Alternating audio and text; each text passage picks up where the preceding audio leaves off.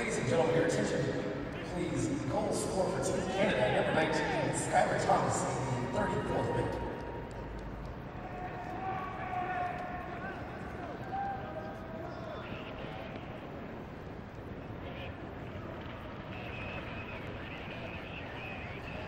The assistant on the play, number 6 for Team Canada, Christopher